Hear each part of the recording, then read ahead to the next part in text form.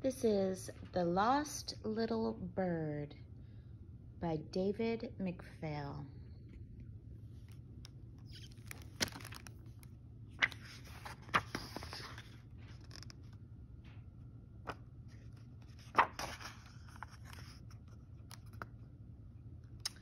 A little bird flew into a tree and bumped his head.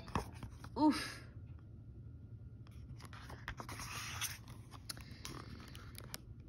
The little bird felt all jumbled up. He couldn't even remember what kind of bird he was. But the little bird was determined to find out. The little bird thought he might be a nightingale. Tweet, tweet. Stop, you're hurting my ears. But he wasn't. Maybe I'm a robin, he thought. But he wasn't a robin either. Yikes! Perhaps he was an eagle. No, you are not an eagle. You are too little. Uh, maybe I'll get bigger. But he was not. Could I be a crow, the little bird wondered? Care to join us? Ugh, yuck. But he was definitely not a crow. An owl tried to help by asking the little bird some questions. Who? Who? Who? But the owl flew away before the little bird could answer. Wait!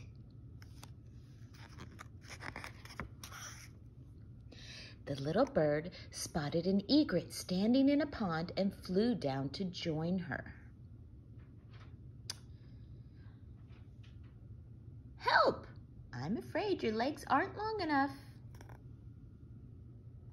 But he soon discovered that he was not an egret.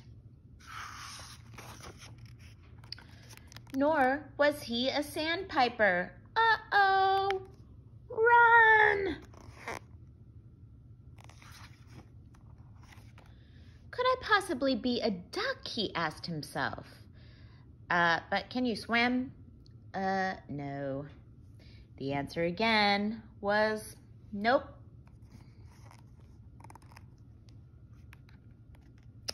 The chickens were encouraging. Keep trying. But the little bird knew that he was not a chicken. Maybe tomorrow.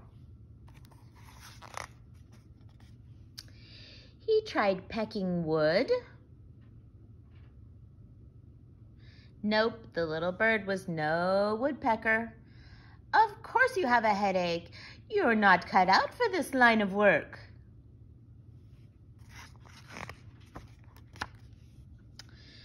Oh, the little bird was sad and discouraged. He flew down and landed on the rim of a bird bath.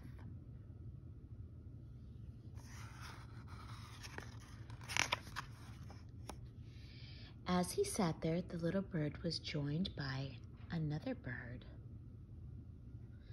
Hello, she said. Who are you?